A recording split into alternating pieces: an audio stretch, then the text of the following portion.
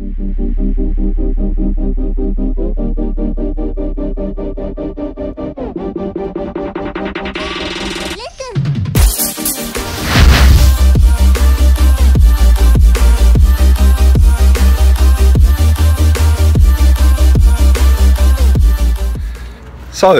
just watched Arsene Wenger's press conference this morning, and um, the state of journalism in this country is unbelievably shocking. Every single journalist I heard this morning put the question to him about Alexis Sanchez contract situation, whether he's coming, whether he's going. Um, they also did the same to Alex Oxlade-Chamberlain. Not one of them mentioned Mesut Ozil, despite Mesut Ozil being in exactly the same position as the other two.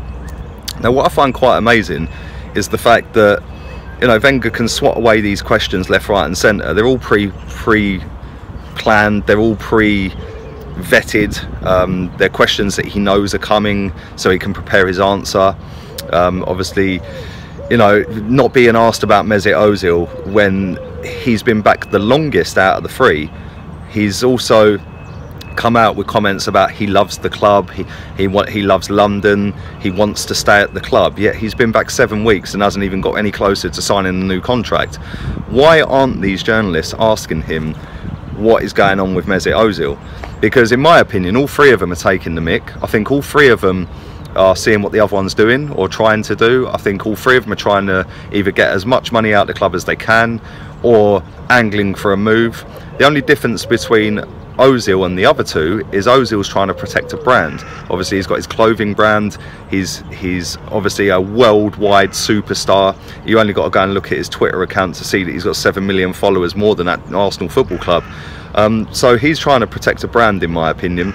Which is why he's coming out with the statements of "I love the club," etc., etc. Um, he doesn't love the club. None of them do. Um, let's have that right. They don't love the football club.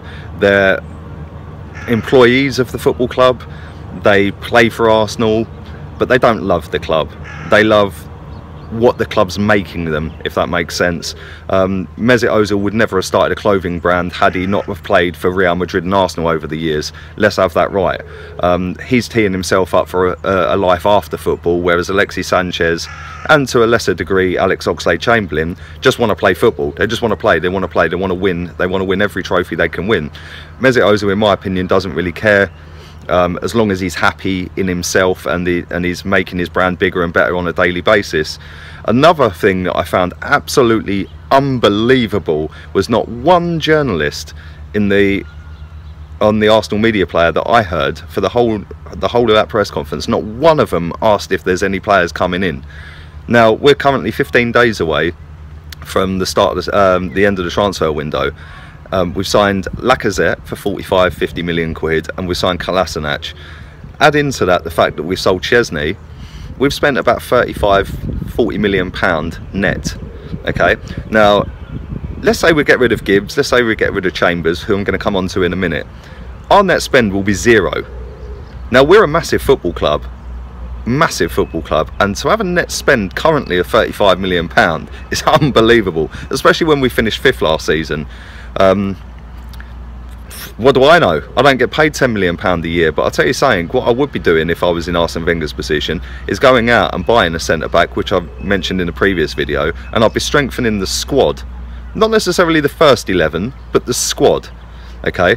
Um, another question that wasn't asked was the Calum Chambers situation. Calum Chambers played quite a lot in pre-season. He looked half decent in pre-season.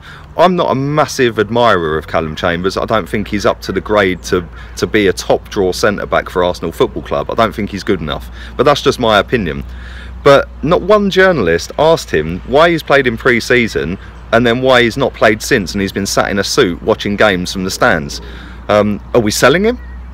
Because if we're not selling him, why ain't he been playing? Um, we could have done with him the other night against Leicester when we had no centre backs on the pitch and played two left backs at centre back and a, a right back at left back and a central midfielder at right back. You know, all these questions need to be asked, and none of these journalists seem to, to get to the nitty gritty and ask these questions. Um, like I said before, they're, they're all vetted, all the questions are vetted beforehand. So, know, I just don't get it. I think they're all sitting there. They don't want their privilege taken away of being able to sit in front of Arsene Wenger and ask him the questions that need to be asked. But Anyway, enough of that. On to the Stoke preview. Stoke City have just signed Jesé Rodriguez, the former Real Madrid player, currently at PSG. They've signed him on loan um, for the season.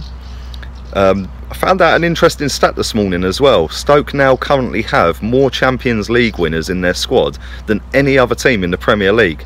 That, when you look at it, is unbelievable. Unbelievable. Um, especially when you think that Chelsea have run it won it in recent years as well and you know it's it's crazy unbelievable but yeah we know what we're going to get with Stoke. We know that they're going to be in your face. We know they're going to get stuck in. They're going to be physical. They're going to be dirty. They're going to try every tactic in the book to stop us. Um, but that being said we did smash them there last season. Um, obviously a fantastic performance. Yes it was towards the end of the season and Stoke had literally nothing to play for.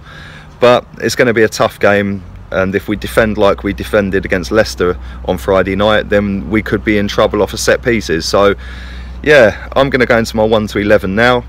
Um, before I do that if you're new to the channel smash the subscribe button. I'm about 50 odd subscribers away from 2,000 I appreciate every single one that has subscribed so far. Let's get me up to that 2,000 milestone um, and continue on for the rest of the season. Um, also smash the like button to pieces, that always helps me on my way, lets me know the content is good and that you're enjoying it. And obviously I want everyone to enjoy what I'm saying and what I'm doing. Obviously, you know, at the end of the day, you guys are the ones that watch it, so the like button always tells me that you like it and that I'm doing okay. My 1 to 11 for the game, um, I think he'll stick with a back three. Um, he said that Mertesacker and Mustafi are back in the squad. Um, so I don't think we'll see two left backs at centre back this week. Um, I'm going to go with Peter Cech in goal. Um, let's hope he sorts his form out because he had a mare against Leicester for their um, for their first goal for the equaliser. Came running out, got caught under the ball and just flapped. Um, I think the back three. I think he'll go with Mertesacker in the middle. I think he'll go with Monreal as the left centre back, and I think he'll go with Rob Holding. Um, although uh, Mustafi is fit, and back in contention. I don't think he'll risk him. He's not played at all since the Confederations Cup. Um, so yeah, if we're winning the game, he can obviously bring him on, shore it up defensively towards the end of the game. Um, right wing back, I think he'll go with Alex Oxlade-Chamberlain. I hope he plays him there. I think he's been fantastic playing there um, and looks a real threat going forward. Um, Hector Bellerin, sorry mate, but you ain't cut the grade recently and I think you've been a bit of a liability there, so no, not for me, you're not playing mate. Um, left wing back, hopefully he plays the tank, hopefully Kolasinac gets a left wing back position. We all know what the guy's capable of, we're all in love with the guy already, he's been fantastic since he joined the club. Um, scored in the Community Shield and then set up Welbeck for the uh, equaliser um, against Leicester the other day. Um, midfield, um, I think Aaron Ramsey, I think he'll start him alongside Granit Xhaka. Um, Aaron Ramsey nearly scored with his first touch when he came on against Leicester the other day, and then he scored a fantastic goal. We all know he loves Aaron Ramsey, and we all know he's going to walk straight back into the team. Attacking midfield, I think he'll go with Danny Welbeck. Pace, power, he tracks back. Just a shame he can't finish. If he could finish, he'd be dubbed world class. Um, and alongside him, obviously, he'll play uh, Mesut Ozil. So then up top, the main man, Alexander Lacazette.